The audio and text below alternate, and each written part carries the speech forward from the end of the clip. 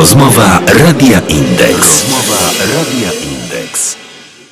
Wybiła godzina 9.30, czas rozpocząć rozmowę Radia Indeks. Witam w poniedziałkowej odsłonie VIP-Roomu. Ja nazywam się Paweł Hekman, a dziś moim gościem jest magister Michał Żejmo, słuchacz pierwszego roku studiów doktoranckich w Instytucie Astronomii Uniwersytetu Zielonogórskiego. Witam cię, Michale. Dzień dobry.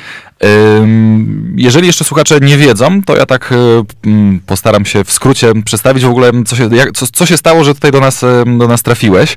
E, mianowicie będziesz prowadził obserwacje astronomiczne na 2,5 metrowych teleskopach zlokalizowanych w Obserwatorium Astronomicznym na La Palmie, czyli na Wyspach Kanaryjskich. No, brzmi to trochę, trochę jak wakacje. Mógłbyś przybliżyć nam, co dokładnie tam będziesz robił? No, no nie będą jednak to do końca wakacje. E, ogólnie rzecz biorąc, dostałem się na 11 szkołę Neon, tak się nazywa ta szkoła.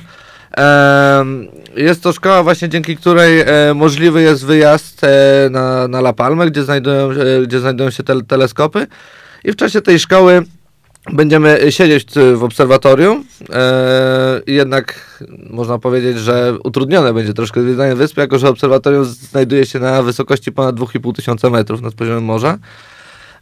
No i tam będziemy uczyć się prowadzić obserwacje oraz e, przede wszystkim e, będziemy uczyć się obrabiać dane pochodzące z tych teleskopów. Między innymi. A jak, jak w ogóle doszło do tego, że, że, że właśnie tam wyruszysz w tą podróż? E, nabór na tą szkołę był otwarty. O tej szkole powiedziała mi doktor Agnieszka Sulikowska, która namówiła mnie na e, aplikowanie na tą szkołę, która pomogła mi zaaplikować na tą szkołę. No i stwierdziliśmy, że może się uda udało się, e, aplikowali ludzie z całej Europy. 20 e, osób zostało przyjętych, w tym ja. No właśnie, i tak od, od, razu nasuwa się pytanie, co, co, co takiego trzeba zrobić, żeby, żeby się dostać, żeby w tej dwudziestce się znaleźć, no bo tam tych aplikantów podejrzewam było naprawdę sporo. Yy, musiałeś, nie wiem, przedstawić jakąś pracę, jakieś badania, czy po prostu to, to było wysłanie aplikacji, że ja jestem Michał, ja bym chciał? No nie, nie. Trzeba było przede wszystkim opisać swoje doświadczenie w prowadzeniu obserwacji czym się no, zajmuję w astronomii, co robię na doktoracie. E, no, i, no i to chyba zdecydowało jednak, e, że, że miałem jakieś doświadczenie w prowadzeniu obserwacji, ponieważ byłem już wcześniej też e, w obserwatorium w Skinakas na Krecie. Tam prowadziłem obserwacje między innymi i, i chyba to, mhm. to zdecydowało, że... A, a czym się zajmujesz tutaj na, na UZ poza tym, że, że jesteś doktorantem? Będziesz doktorantem? No, znaczy jestem doktorantem. Jesteś, tak, będziesz doktorem. No miejmy nadzieję, że kiedyś zostanę doktorem, tak. No prowadzę swoje badania, współpracuję z, właśnie z doktorem Agnieszką Sojkowską, moim promotorem jest profesor Andrzej Maciejski.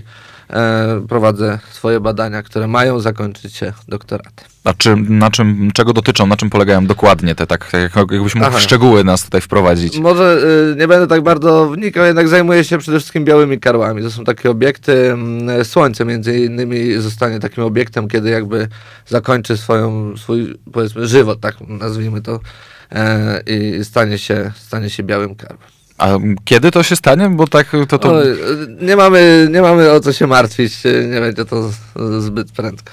Rozumiem, a powiedz mi, no bo tutaj zdobyłeś grant, tak? Jeżeli, jeżeli no dobrze... Tak, bo jakby y, jest w pełni finansowany mój wyjazd tam.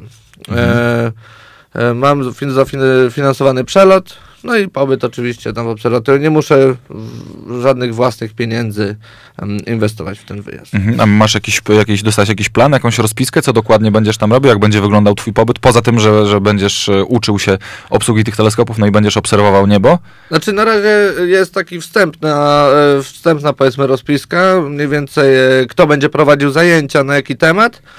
E, a tak poza tym to szczegółowego planu jeszcze, jeszcze nie ma. I, kiedy wyruszasz w podróż? E, wylatuję 13 mm, lipca, e, szkoła zaczyna się 14.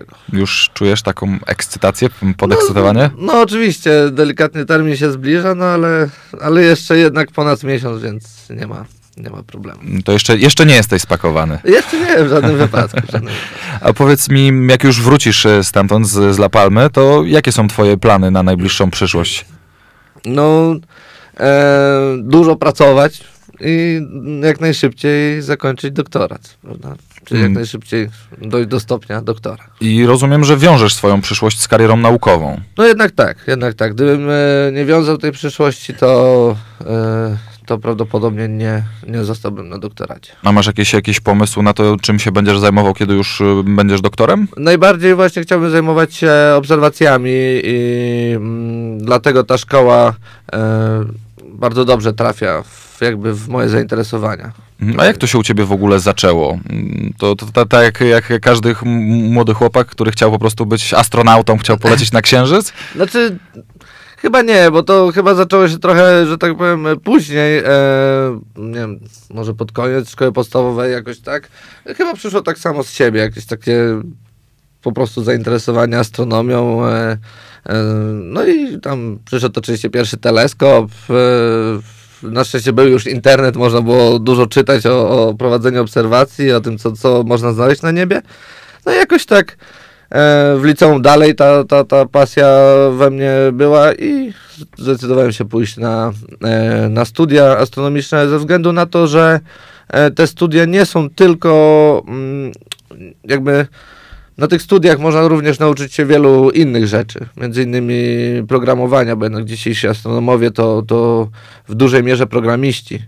E, My obrabiamy duże ilości danych, tak naprawdę wszystko robimy za pomocą komputerów. Już nie ma tej astronomii, gdzie patrzy się tam okiem przez okular i, i coś się rysuje czy zapisuje. No nie, jednak wszystko robi komputer, więc e, to też decydowało, mm, że, że wybrałem te studia, że ewentualnie em, jednak zdobędę jakieś umiejętności, które pozwolą mi robić coś innego. A o czym marzy astrofizyk? O czym marzy astrofizyk? Na pewno o odkryciu czegoś, czego nie odkrył nikt inny, no jak każdy chyba naukowiec tak naprawdę. Czyli no i tam pole do popisu na górze jest chyba dosyć spore, żeby coś, jest, coś jest, odkryć. jest dużo rzeczy do odkrycia jeszcze, tak. A tak os- ostatnio gdzieś e, czytałem, że w sobotę minęła nas e, asteroida, czy, czy nie chcę tutaj użyć jakiejś, jakiegoś złego nazewnictwa, wielkości ciężarówki e, i że to było najbliżej w historii, czy coś, co, coś takiego, gdzieś pomiędzy właśnie Księżycem a Ziemią się to Mhm. wszystko e, odbywało I, i tak właśnie chciałem ciebie też podpytać, czy faktycznie to, co nam pokazuje hollywoodzkie kino, że, że ta asteroida w nas, w nas uderzy i będzie koniec świata, to jest faktycznie możliwe?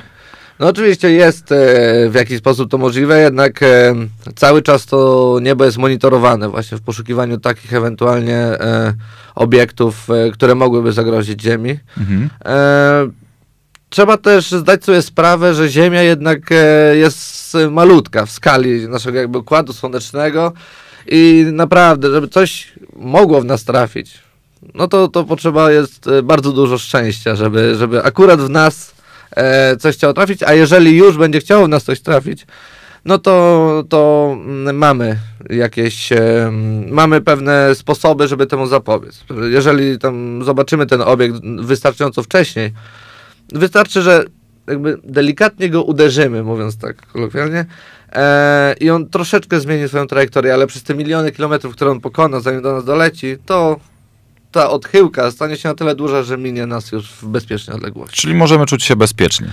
Nie musimy dzwonić do Bruce'a Willisa, Raczej żeby nas tak, ratował. no, no chyba nie. Chyba No to bardzo dobrze. To, to tym optymistycznym akcentem zakończymy naszą rozmowę. Bardzo dziękuję Ci za wizytę.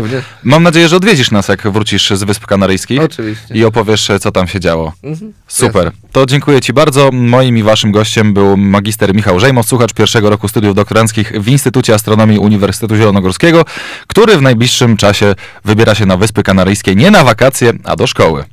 Dziękuję Ci bardzo za rozmowę. Dziękuję bardzo. Rozmowa Radia Indeks.